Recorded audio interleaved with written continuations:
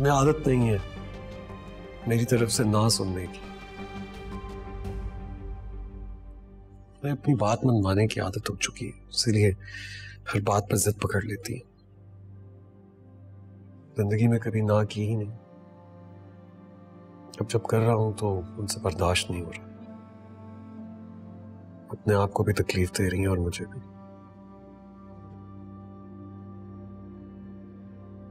लेकिन मुझसे इस तरह रहा नहीं जाता। मुझसे बात ना करें, मेरी बात का जवाब ना दें, मुझसे बर्दाश्त नहीं होता, घुटन होती है।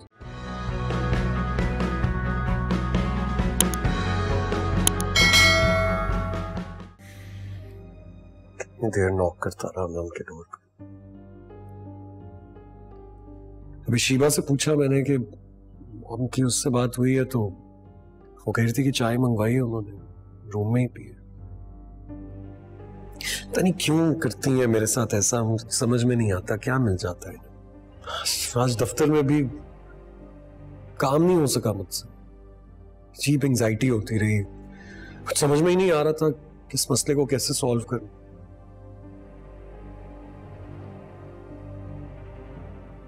अब मुझे समझ में नहीं आ रहा क्या करूँ मैं मैं, मैं कैसे मनाऊं उनको?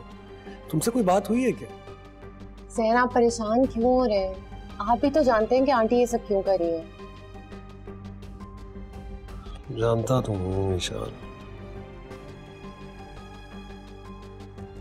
मैं आदत नहीं है मेरी तरफ़ से ना सुनने की। मैं अपनी बात मनवाने की आदत हो चुकी है, इसीलिए हर बात पर जिद पकड़ लेती है। ज़िंदगी में कभी ना की ही नहीं। अब जब कर रहा हूँ तो उनसे बर्दाश्त नहीं हो रहा। अपने आप को भी तकलीफ़ दे रही है और मुझे भी।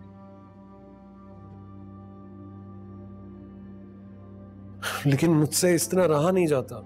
वो मुझसे बात ना करें, मेरी बात का जवाब ना दें, मुझसे बर्दाश्त नहीं होता, घुटन होती है। फिर ऑफ़िस में भी मैं बता रहा हूँ ना, काम नहीं हो पा रहा था मुझसे।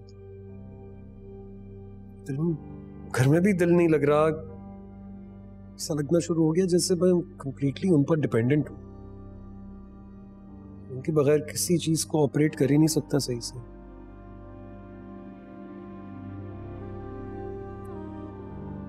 क्या क्या तरीका हो सकता है उनसे बात करने का? तुम भी कुछ सोचो ना कि किसी तरह उन्हें मनाया जाए। सोचती हूँ।